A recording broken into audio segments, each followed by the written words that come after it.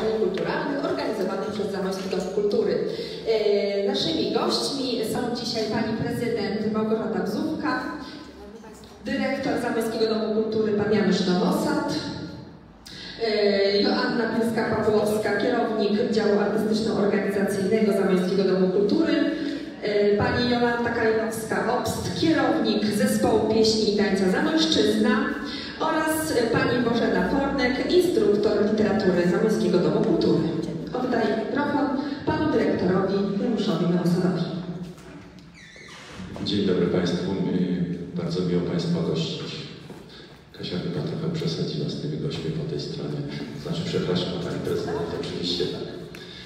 Jeżeli Państwo pozwolą, to poprowadzilibyśmy tą konferencję troszeczkę chronologicznie. Znaczy pani prezydent za zabierze głos, a później omówilibyśmy kolejno chronologicznie wydarzenia, które się zbliżają nieuchronnie, jeżeli chodzi o sezon kulturalny w Zamościu. Tak by to przebiegało. Proszę bardzo, Pani Małgorzata Psowka, zastępca prezydenta miasta Zamość. Szanowni Państwo, bardzo się cieszę, że możemy otworzyć sezon w Zamojskim Domu Kultury po prostu tak naprawdę, bo oczywiście sezon mamy otwarty z, wraz z weekendem majowym, niemniej jednak te wydarzenia artystyczne w tej chwili się rozpoczynają dla nas ważne, istotne dla miasta, promujące miasto. Są to rzeczy jak istotne takie przedsięwzięcia jak Arlekinada, jak Zamojskie Lato Teatralne, jak Ulica Poetycka, to wszystko, o czym Państwo dzisiaj usłyszycie. Bardzo się cieszę, że po raz kolejny możemy podczas konferencji przekazać te informacje ważne dla mieszkańców i również dla turystów. Mamy już kalendarium w postaci letniego informatora kulturalnego. Zachęcam do zapoznania się z nim. Pewnie nie wszystkie wydarzenia się w nim znalazły, ciągle jest jeszcze aktualizacja, strona zamość.pl, która jest tak naprawdę stroną taką najważniejszą, jeśli chodzi o aktualizację tematów wydarzeń artystycznych i sportowych, bo w tym roku tu jest zagęszczenie i tych, i tych. W związku z tym serdecznie zapraszam do zapoznania się i z tymi informacjami na stronie internetowej również. Dziękuję bardzo. No to zaczynamy. Pani Bożena Fornek i Festiwal Ulica Literacka. I zapraszam w imieniu organizatora Zamojskiego Domu Kultury, ale także współorganizatorów poszczególnych części ulicy Literackiej na weekendowy piątek i sobotę, czyli 24 i 25 maja. Ulica Literacka jest kontynuacją 12, 11 edycji ulicy Poetyckiej, 12 edycja ulicy Literackiej. Zaczyna się od odsłonięcia rzeźby. Akurat jest to rzeźba inspirowana wierszem Teatru Bolesława Leśmiana. I tak się złożyło, że Morandówka zdecydowała się być mecenasem tej rzeźby. Także powiedziałabym, że będziemy mieli swoją morandówkę pod jaszczurami, bo jaszczury właśnie są autorstwa Bartka Sęczawy, takim takim elementem właśnie do kolejnego szlaku leśmianowskiego po wcześniejszych dwóch postaciach z bohaterów leśmianowskich, czyli po Bajdale i po Srebroniu przed czas na jaszczury z wiersza Gard. Zaraz potem, również w Morandówce, będziecie mieli Państwo okazję obejrzenia wystawy pod tytułem Czytam. Przyszło bardzo wiele prac w tym roku na, na, na ten konkurs, z czego jurorzy wybrali spośród prawie 200 prac, jurorzy wybrali 40 i ta ekspozycja również jest w Morandówce, podobnie jak spotkanie poświęcone Leśmianowi. Jest to taki stały akcent w ogóle ulic literackich, więc spotkanie poświęcone Leśmianowi, a to na okoliczność wydania książki przez Janusza Palikota, którego na co dzień znamy jako przedsiębiorcę, jako y, człowieka y, związanego z polityką, ale z Janusz Palikot od lat interesował, interesował się Leśmianem i y, ta książka jest y, plonem jego y, takich y, sześcioletnich y, sześcioletniej pracy nad, y, y, nad tym, żeby pokazać Leśmiana nie jako rymopisarza, ale jako myśliciela. Sam Palikot jest z zawodu filozofem, Leśmianowi również zagadnienia filozofyczne nie były obce, stąd y, będziemy prezentować książkę Nic, Nic, ontologię na marginesach Leśmiana. Tym akcentem kończy się Piątkowa ulica Literacka, natomiast y, w sobotę spotkamy laureatów konkursu imienia Bolesława Leśmiana. Taki konkurs jest od kilkunastu lat ogłaszany przez y, miasto Zamość po to, żeby podkreślić związek y, tego poety z Zamościem. I w scenerii księgarni imienia Leśmiana będziecie Państwo mieli okazję y, poznać laureatów, posłuchać nagrodzonych wierszy, w tym wierszy, które są właśnie inspirowane y, twórczością Leśmiana, nawiązują tak do jego y, rytmu, o którym wspominał, jak i treści.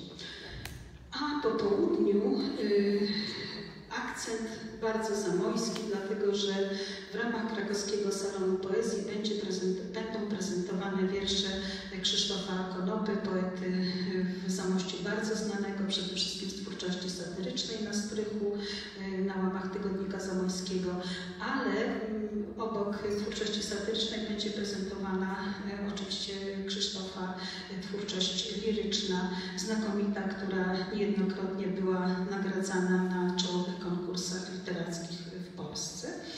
A y, muzycznie y, ten, ten wieczór y, ubarwi trio beethovenowskie. Zapraszam Państwa szczególnie na ten punkt programu, na to spotkanie, dlatego że w tym roku 40 lat, jak Krzysztof opisuje Zamość, bo, bo opisuje ten Zamość co tydzień. Zamość naszą rzeczywistość. Więc krakowski salon poezji, godzina 18 sobota, a o godzinie 19 koncert z takim y, przypomnieniem, y, wspomnieniem Małgosi Czerniak, ponieważ literaci, grono literatów zamowskich przeczyta wiersze takie, o których, y, które być może Małgosia chciałaby posłuchać. Zawsze 11 dotychczasowych edycji ulic poetyckich było y, organizowanych z jej udziałem, podobnie jak spotkania w ramach y, Zamojskiego Lata Teatralnego. A y, to czytanie y, wierszy będzie w oprawie muzycznej y, kwartetu Proforma. Jest to kwartet, który znany jest przede wszystkim ze współpracy z Gintrowskim, y, ale także Staszewskim. W związku z tym repertuar będzie taki, powiedziałabym, y, klasyczna piosenka poetycka, czyli to będzie i Cohen, i będzie y, Kaczmarski, będzie, bę- będą obydwaj Staszewscy, czyli Stanisław Staszewski i Kazik Staszewski. Y, Wiersze będą czytali y, Jan Henryk Cichosz, Tadeusz Dyrkiel, Piotr Linek, Marian Kaczmarczyk, Piotr Piela i Barbara Radomska, a wieczór sobotni zakończymy y, spacerem y, i spacer, y, na spacer poprowadzą nas Agnieszka Linek, Krzysztof Hałon i Michał Dudziński. Spacer jest nazwany przez siedem bastionów z literaturą. Zapraszamy. Dyrektorze, przepraszam, ale musimy niestety przestawiać. Przestawiać. No to dobrze, to ja w tym czasie się nauczę, jak włączyć mikrofon. I tutaj chyba, tak, to czy okulary. Raz, raz, do góry.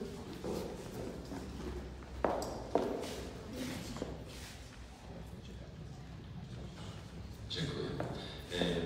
E, Szanowni Państwo, może zaproponuję taką konwencję, że powiemy, co mamy do powiedzenia, a e, później byśmy porozmawiali o tych wszystkich wydarzeniach. Ja tylko jeszcze jedno zdanie do wspomnianych jaszczurów. Jaszczury już są na parapecie memorandówki. Niektórzy z Państwa już to zauważyli, więc są też już w przestrzeni internetowej. E, Leśmian był, był płodnym pisarzem, e, poetą, e, więc myślę, że Bartkowi Sęczawie nie nie zabraknie inspiracji do następnych postaci leśmianowych. A mówię to dlatego, że zapewne Państwo wiecie, ale myślę, że warto to podkreślić, że zamysłem naszym jest zasiedlenie y, Zamościa postaciami leśmianowymi, tak by powstał taki szlak y, leśmianowski, turystyczny y, dla Zamościan i dla turystów. Pierwszą, myślę, że mecenatów również nam nie, nie zabraknie. Pierwszy mecenas to oczywiście przy Bajdale było Ministerstwo Kultury i Sztuki i Piotr Gliński. Y, Przy Srebroniu Zamojski Klub y, Rotary. Y, Teraz Państwo Ryczkowie z Morandówki. No zobaczymy, kto się zdecyduje na sfundowanie następnej rzeźby. To tyle. A teraz Pani Joanna Picka-Pawłowska i rocznicowy i jarmark.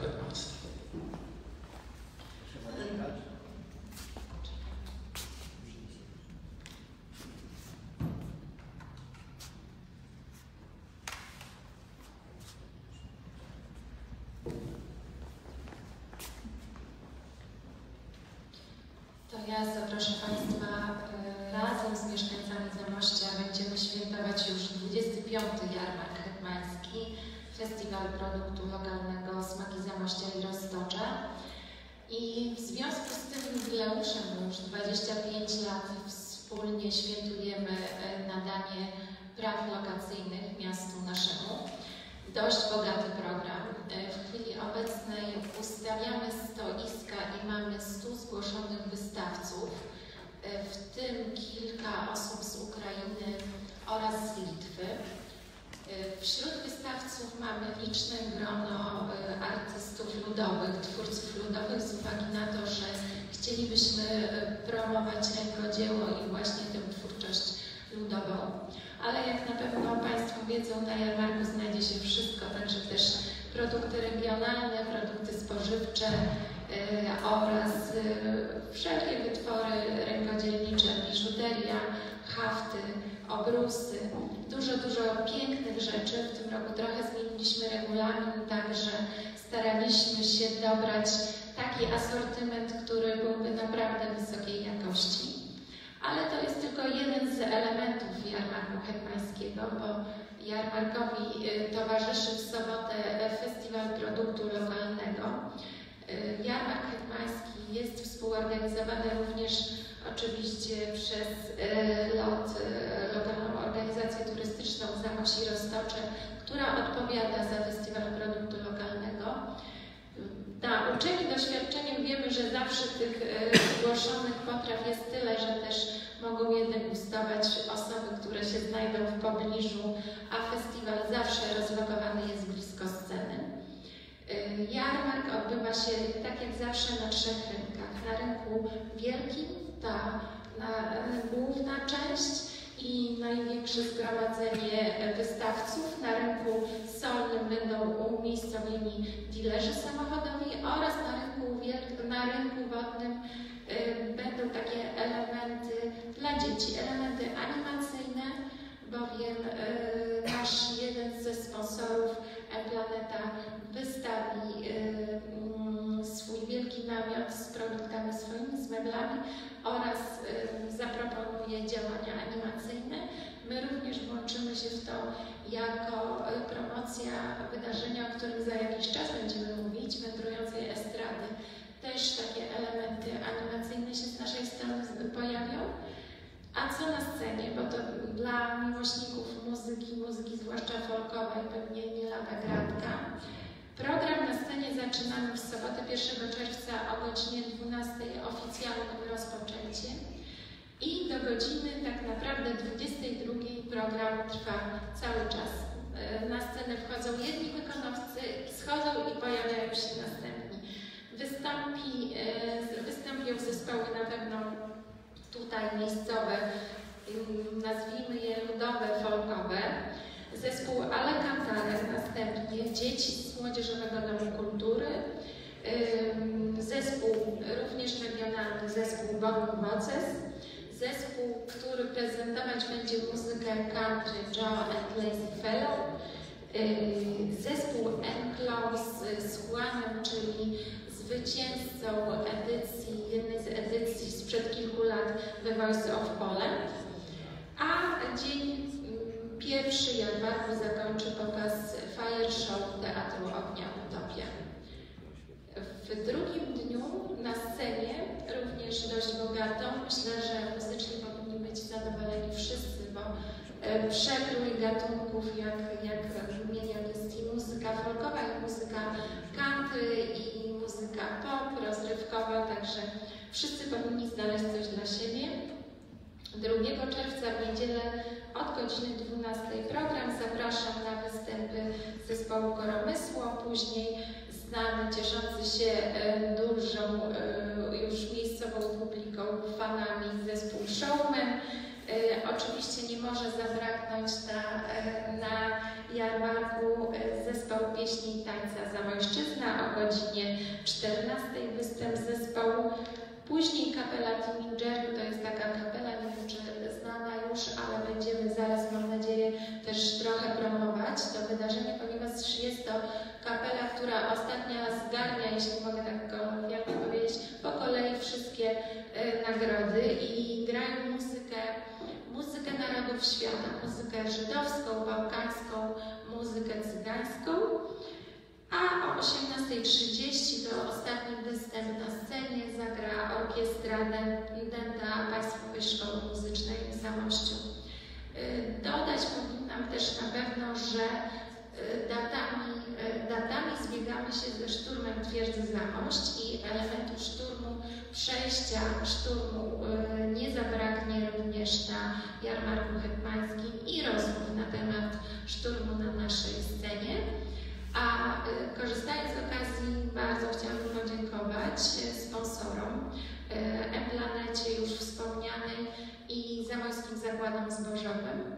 To są sponsorzy, którzy wsparli nas finansowo w zeszłym roku, a w tym roku y, dzięki działaniom y, działu marketingu, głównie staraniom, y, ta liczba osób wspierających nas się poszerza jeszcze o BESI oraz o Współorganizatorem i, Hetmański Festiwal Produktu Lokalnego jest oczywiście możliwy, e, e, możliwy w realizacji dzięki dotacji e, miasta Zamość. I to tyle na razie. Dziękuję Pani Jolanta Kalinowska-Hobst. Zamojska Argentina. Przedstawiamy sprzęt. A tam się odda.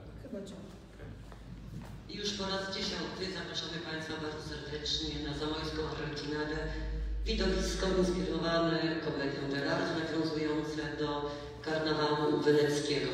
Odbędzie się 7 czerwca na Rynku Wielkim Zamościu, a początek o godzinie 21. Ponad 100 wykonawców na Rynku Wielkim, tancerzy, aktorów, żonglerów, muzyków, przebranych oczywiście w różne historyczne, karnawałowe stroje. Y, Zespół pieśni tańca Zamojszczyzna wykona w czasie tego widowiska tańce dawne, historyczne. Pojawi się także na naszym rynku Pierot, poszukujący swojej miłości, który zabierze nas na arenę cyrkową, gdzie zobaczymy różne popisy artystów cyrkowych oraz także razem z tym pierotem będziemy mogli uczestniczyć w rozgrywce szachów. A to wszystko za sprawą kijowskiego teatru ulicznego Highlight, który specjalnie na, naszej zamojskiej arlekinady przygotował krótkie etiudy sceniczne, które w tym widowisku zaprezentuję. A dopełnieniem całości będą oczywiście występy muzyczne zamojskiego zespołu White Drums naszej zamojskiej szkoły Yamaha oraz y, pokazy Teatru Ognia Utopia. Zespół Zamojszczyzna swoje tańce historyczne, te dawne wykona do nagrań przygotowanych przez zespół muzyki dawnej Capella Alantico. A na koniec całego widowiska chcemy po raz pierwszy naszą publiczność zaprosić do wspólnej zabawy, do nauki i wspólnego wykonania jednego z tak dawnych tańców historycznych, kontrdansa. Zapraszamy, myślę, że będzie dobra zabawa, a gdyby jeszcze publiczność nasza przyniosła ze sobą maseczki takie karnawałowe, to już byłby cały rynek zamojski taki jak Wenecji w czasie karnawału. Zapraszamy. I zachęcamy oczywiście. Może i kostiumy historyczne pojawią się także wśród widowni. Zapraszamy.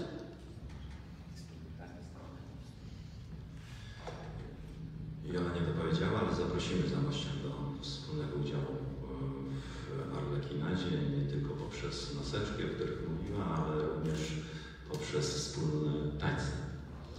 To też taka niespodzianka, ale już Państwo wiecie, jest chyba nic z tej niespodzianki. Szanowni Państwo, nie ma z nami Grażyny Kawali, kierownika programowego Zamojskiego Lata Teatralnego, więc mnie przypadł obowiązek przedstawienia Państwu 44. Zamojskiego Lata Teatralnego. Lato... Dobrze, wstrzymam się Marku. Lato teatralne rozpoczynamy 16 czerwca, zakończymy 6 lipca, więc trzy tygodnie teatru w Zamościu. Kluczem programowym w tym roku są kreacje aktorskie. Wiecie Państwo, co roku próbujemy nadawać jakiś taki kierunek programowy Zamojskiemu Latu Teatralnemu. W ubiegłym roku był przymierze teatru i muzyki, w tym roku są to kreacje aktorskie. Festiwal niezmiennie jest festiwalem niekonkursowym. Jedynym przejawem współzawodnictwa jest plebiscyt publiczności na najlepszy spektakl teatralny i ten spektakl, który wygrywa, otrzymuje buławę hetmańską w związku z tym, że Teatr Ludowy w Krakowie za spektakl zahipnotyzuje mnie piosenki Zygmunta Koniecznego z ubiegłego roku został laureatem Buławy Hetmańskiej. On też otworzy jakby oficjalnie Zamojskie Lato 22 czerwca na rynku wielkim. Jeżeli chodzi o program, to oczywiście będzie on zróżnicowany.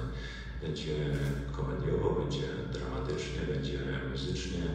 Chcemy tak poprowadzić lato teatralne, by sprostać zróżnicowanym gustom i oczekiwaniom zamościan, turystów. Pokażemy Państwu 10 spektakli teatrów zawodowych.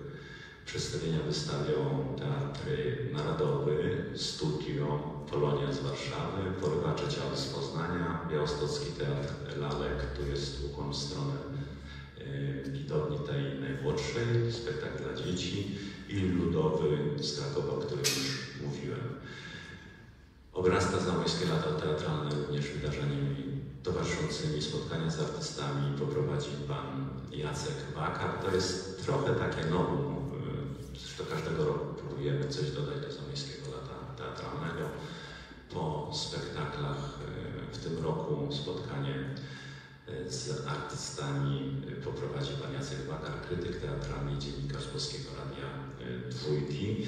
Nazwaliśmy to o spektaklu, po spektaklu. Po pierwszym spektaklu spotkamy się już z racji tego, że inauguracja jest zwyczajowo na Rynku Wielkim, więc po pierwszym spektaklu spotkamy się na Rynku Wielkim w Ogródku Arte Hotel. Natomiast po następnych spotkaniach spróbujemy zaangażować kawiarnię tutaj w Zamojskim Domu Kultury dzięki uprzejmości Kawy na Ławę i Galicji Cafe i będziemy się spotykać w tak zwanej kawiarni w Zamojskim Domu Kultury. Oprócz oczywiście tych spotkań będzie wystawa fotografii, lata teatralne młodych, dwa spektakle, konkursy i letnie warsztaty twórcze. Jeżeli chodzi o przestrzenie, jakie zaanaktujemy dla teatru, to Rynek Wielki, Zamojski Dom Kultury, to jest racji oczywiście tego nutu, o którym wspomniałem, o kreacjach. Więc jakby niestety jesteśmy zmuszeni większość, a może stety, większość spektakli odbyć na scenie Zamojskiego Domu Kultury, ale mówię, będzie też i Rynek Wielki i też tradycyjnie Centrum Kultury Filmowej też zamienimy w teatr. Będziecie Państwo mieli możliwość obejrzeć transmisję z Królewskiego Narodowego Teatru w Londynie Antoniusz i Kleopatra. Trochę może nazwisk, znani, uznani, wybitni. Irena Jung, Beata Ścibakówna, Krystyna Janda, Hanna Śleszyńska, Małgorzata Mielkowska, Mikołaj Grabowski, Grzegorz Małecki. Yy, Plakat, o plakacie chciałbym powiedzieć. Plakat jest z tej strony. Od czterech lat e, współpracujemy z młodym, zdolnym zamościaninem. Oczywiście to jest Łukasz Zwolan i jego kolejny plakat zamojskiego lata teatralnego. Uprzedzając pytania, mm, to będzie też i o finansowaniu. Oczywiście główny ciężar ponosi miasto Zamość, jak zresztą przy wszystkich wydarzeniach, o których tutaj wspomnieliśmy ale do lata teatralnego dołożył się, tak jak w ubiegłym roku, Piotr Gliński, czyli Ministerstwo, Minister Kultury i Dziedzictwa Narodowego, sponsorzy, Bank PKO, Veolia i PGE Dystrybucja, to zamojskie podmioty, budżet lata. Jeszcze tak do końca go nie policzyliśmy, ale oceniam go tak między 350 a 370 tysięcy złotych. To, że miasto jest hojne y, w dotacji celowej pozwala nam zaprezentować te wszystkie spektakle i wszystkie te wybitne kreacje aktorskie. Będę teraz mówił o biletach i karnetach, to będzie poziom 10 i 20 zł, czyli no, tak, Janek się uśmiecha, no tak. To, co, za co trzeba zapłacić w Lublinie i Warszawie za 120 zł, natomiast będą mogli zamościanie i turyści obejrzeć za 10-20 zł, ale to miasto Zamość. Mm, partnerzy, oczywiście liczni partnerzy, ale z racji tego, gdzie się tam po, po, po pojawiamy, to yy, będzie i tu muszę sobie, bo troszeczkę jest tych partnerów, więc muszę sobie gdzieś żeby nie pominąć nikogo. Yy, to może od Państwa zacznę. Oczywiście Państwa zamawiam, namawiam do partnerstwa yy, nie tylko w przypadku lata teatralnego, ale rozumiem, że obecność Państwa jest tą jakby akceptacją tego naszego wspólnego partnerstwa, bo gdyby nie Państwo oczywiście to nie byłoby tak szerokiej widowni na, na naszych wydarzeniach, więc za to już teraz dziękuję i, i proszę o, o, jeszcze, ale oprócz tego partnerami jest Centrum Kultury Filmowej, jednostki organizacyjne miasta, czy Miejski Zakład Komunikacyjny, Zakład Gospodarki Lokalowej, Stowarzyszenie Kultura dla Zamościa, liczne hotele i restauracje, Zamojski, hotel Arte, hotel Bohema, Galicja Cafe i Kawa na Ławę, wspomina Morandówka i Verona. I to chyba w takim dużym skrócie, jeżeli chodzi o zamojskie lata teatralne. Na tym byśmy skończyli nasze opowieści. Państwo macie świadomość, że nie mówimy wszystkiego. Jakby od jutra wyprowadzamy się na rynek wielki i tam jesteśmy aż do września. Ale żeby się Państwu, że tak powiem, za bardzo nie nagromadziło tych wiadomości, to o takich wydarzeniach jak Eurofolk, wędrująca estrada, Dzień Zamojsku Festiwalu Stolica Języka Polskiego i drugiej części ulicy Poetyckiej porozmawiamy w terminie późniejszym, bo zapewne tak jak moja pojemność głowy jest jakby ograniczona, to pójdzie, pójdzie pewnie. No, każdy ma jakieś tam ograniczenia, więc na tym poprzestaniemy. To co, to zapraszam do pytań, rozmowy, kawy, herbaty. Jesteśmy do Państwa dyspozycji. Ja jeśli mogę jeszcze tak króciutko tylko. Ja się bardzo cieszę, że mamy e, tak intensywny początek sezonu artystycznego, dlatego że, drodzy Państwo, e, gościmy grupy e, turystów zagranicznych. Bardzo dużo się przewija młodzieży. Ja osobiście na dużo już trzecią czy czwartą grupę podejmuję. Byli Hiszpanie, a za chwilę za chwilę do Zamościa przyjeżdża w ramach wymiany młodzież z Hill z miasta partnerskiego, siostrzanego w Stanach Zjednoczonych. W związku z tym to będzie dla nich też, myślę, wyjątkowy czas, żeby móc skorzystać z tych wszystkich naszych atrakcji, zamojskich atrakcji. Dziękuję bardzo.